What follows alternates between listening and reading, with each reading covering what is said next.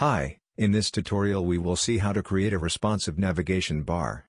This is the most important element of your website and you should make it responsive for smartphones and I will show you how to do that.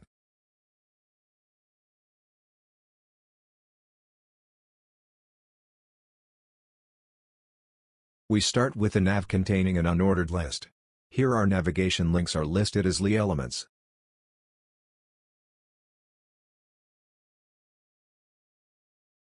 Let's copy this several times and enter some sample content like blog, news, about, and login. I will use a placeholder for the href attribute, you would have to enter a URL to the different HTML pages that you want to link to. Next, let's start styling the navigation bar. I set the background color to white. Next we need to define some styles for the ul. We set the width to 100 to make it expand the full width of its container and we use Flexbox properties to align the items to the right and center them vertically. If you don't know how to Flexbox works that is no problem because you will understand now. Moving on to the list items nav li each list item represents a navigation link so we define its height to be 50 pixels giving us a suitable height for the links. You also may have noticed that we never actually declared a height for the navbar or the ul because we want the list items to define the height of their parents. Now let's start the anchor text A. We set their height to 100 to make them match the height of the list items and we add a padding to create some space around the text. We should use display flex and align item center to center the link content vertically. The text decoration is set to none to remove the default underline and we specify the color as black. Additionally we add a hover effect to the anchor text to change the background color to a light gray creating a visual feedback.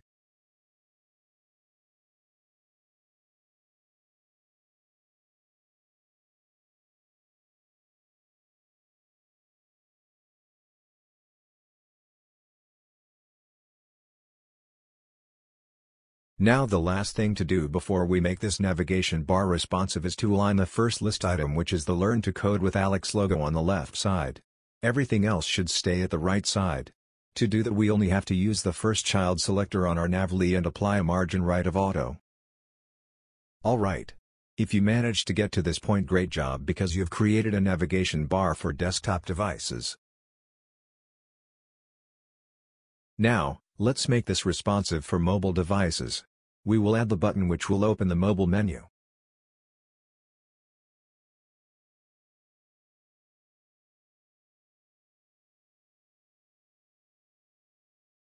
I will add the class menu button to identify our element which will open the sidebar.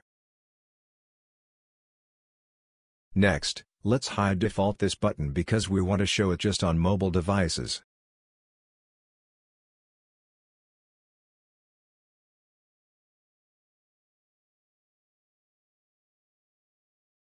Let's create now the menu for the mobile devices.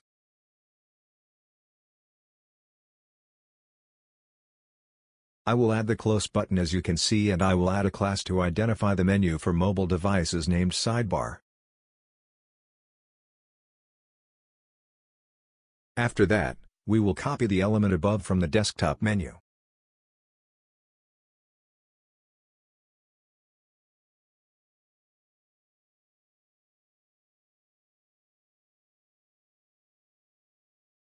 This sidebar should always be stacked with the right side covering everything else. We don't want it to influence other website elements.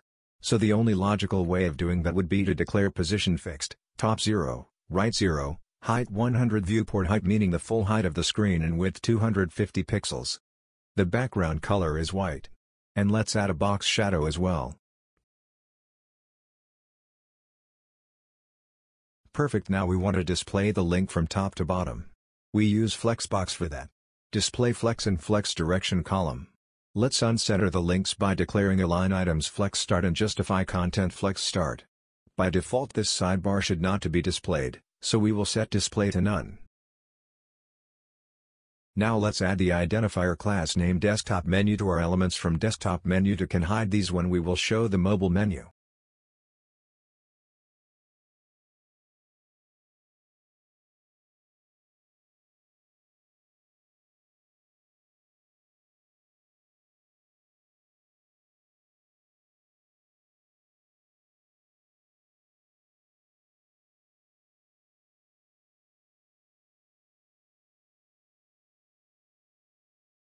We will create a media query with condition max width of 800px to hide the desktop elements when the width of the screen is under 800px and show the icon menu for mobile devices.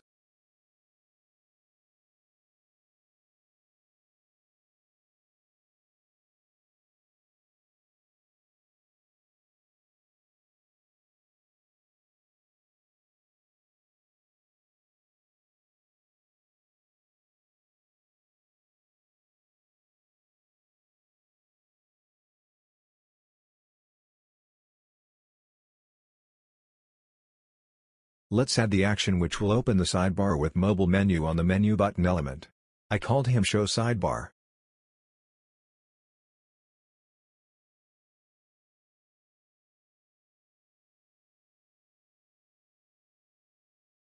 On the end of the body tag we will define the JavaScript function which I called show sidebar which will select the sidebar from the page and I will change the display property from none which is default to flex.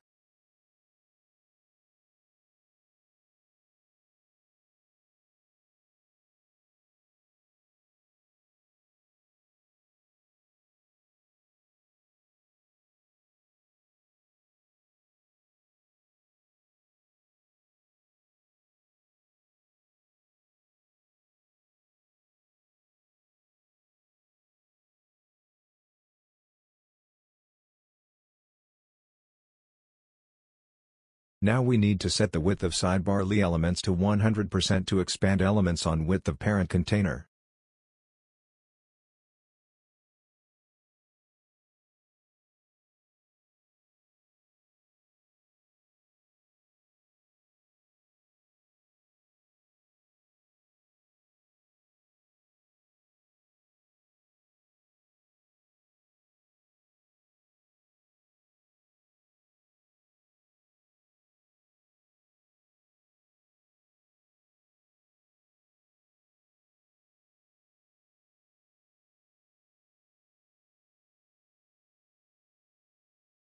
As you can see, if the sidebar is opened we can't close it now.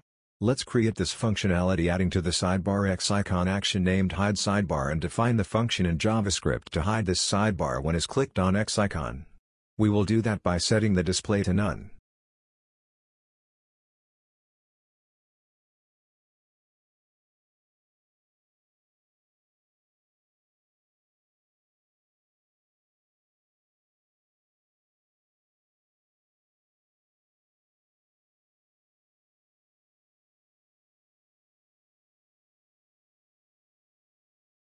Congratulations if you managed to do as I did in this tutorial, your navigation bar now it's responsive by having menu showed on desktop devices and an hamburger menu for mobile devices.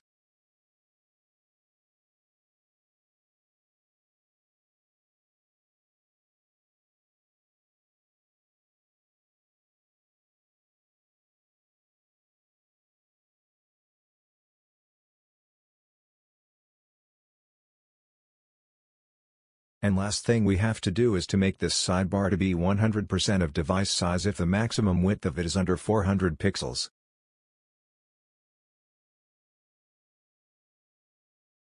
Thanks for watching at this tutorial and don't forget to subscribe, like and share this tutorial to more content like this. If you have any questions, you can write on the comments section of this video.